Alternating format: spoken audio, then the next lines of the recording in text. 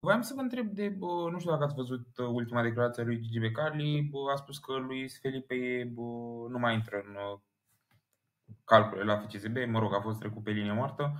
Vă așteptați să cadă în groapă, ca să zic așa, atât de repede? Nu știu, nu știu. Da, eu am crezut, probabil au mai fost jucători care au fost trași pe linie, pe linie moartă la FCSB și au revenit. Probabil dacă se va pregăti și mai sunt destule etape, chiar dacă fi meciuri tare, începe play-off-ul, da, probabil prin conjunctură, dacă se va pregăti bine, sunt sigur că va, va, vom mai vedea în echipă. Asta depinde doar de el. Eu, eu am spus că el mai, am spus la început că el e un tânăr jucător, are nevoie de acomodare, nu e ușor. Nici la uh, Poliaș n-a venit, a avut nevoie de un pic de acomodare. La FCSB știm foarte bine ce obiectiv au, unii se bate la campionat și din păcate nu e, nu e timp de așteptat. Într-o luptă destul de strâns acolo la campionat și da, eu cred în continuare în el că îi cunosc calitățile și cred că se poate, se poate mai, mai trebuie, are nevoie, are nevoie de, de un pic de răbdare.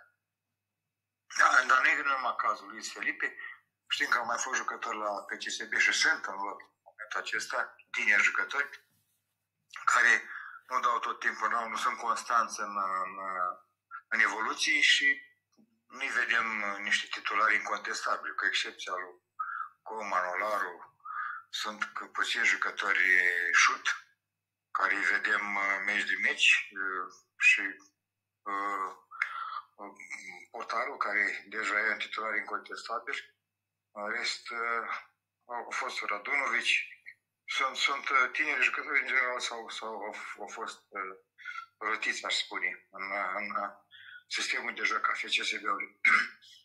El a văzut și aseară să-și căuta locul, când în bandă, când în centru. Și într-adevăr nu... Deși și întreaga echipă, prima repriză, a fost surprinsă de, de, de voluntari. De voluntari, după care, după cele trei schimbări, într-adevăr, după introduce același la jucător FCSB a avut uh, altă față, alte evoluții, s-a impus uh, incontestabil și normal că s-a văzut uh, în prima repriză jocul șters și al lui Luis Felipe în primul rând.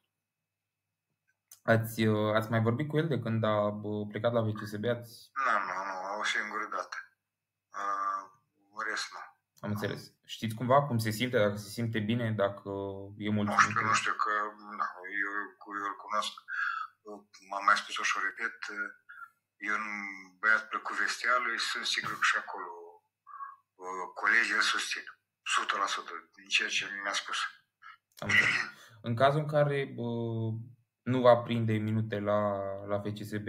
Bă... Nu știu, e prea devreme să discutăm lucrul acesta.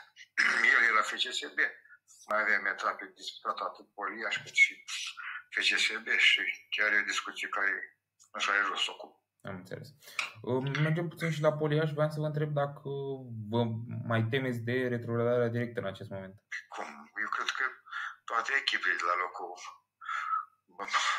de la locul 10 au emoții.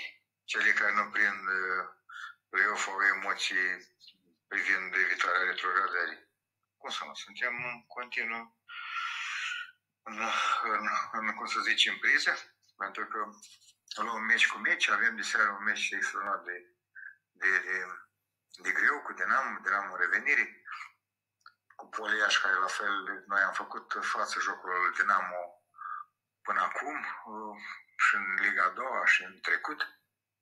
Sper să, să aibă băieții aceeași atitudine și abordare ca și meciul cu rapid și să, să, să facem un joc bun în primul rând și după aia vom vedea rezultatul final.